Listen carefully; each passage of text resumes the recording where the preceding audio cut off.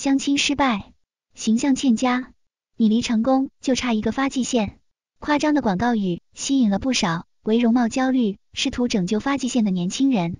研究机构的资料显示，从二零一六年到二零二零年，我国植发行业的市场规模从五十七亿元跃升至一百九十二点二亿元。所谓植发手术，就是将毛发较多部位的毛囊移植到突发或毛发稀疏的部位，移植后成活的毛囊可以继续生长。有医师表示，做毛发移植的人中，多半是二三十岁的年轻人。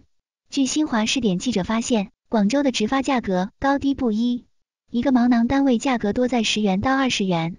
如果一次植发数量达到三千个毛囊单位，则意味着花费在三万元到六万元。有不少植发失败的网友吐槽，九十后美妆博主意义手术后移植了两千五百个毛囊单位，结果存活不到一半，植发的部位头发稀疏。反而大不如从前，在庞大需求的刺激之下，不少机构纷纷涌入植发市场掘金。网上大量的植发培训广告宣称只需三天即可学会，从业者可自己开店，月入百万元，学费分为五千八百元和九千八百元。但按规定开展植发的医疗机构应登记美容外科或美容皮肤科。